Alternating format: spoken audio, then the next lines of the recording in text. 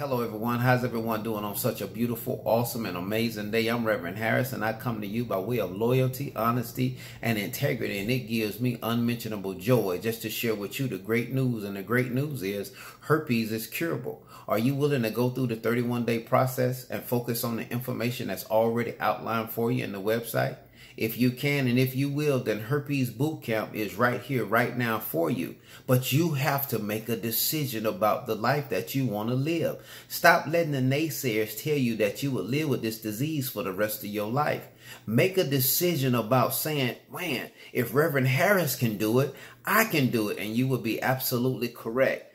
Take the band aid off, take the shackles off and say, you know what, I'm going to stand firm in my faith and my belief because I know beyond a shadow of a doubt I can be cured. Reverend Harris just showed me that he can be cured, so I'm going to be cured. As a result, I'm 100% herpes cured. And my level of excitement is through the roof. No more sleepless nights, embarrassing moments, and the list goes on.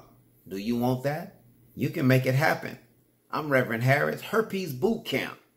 Make it plausible in your life. This is your reality. What you going to do with it? God bless.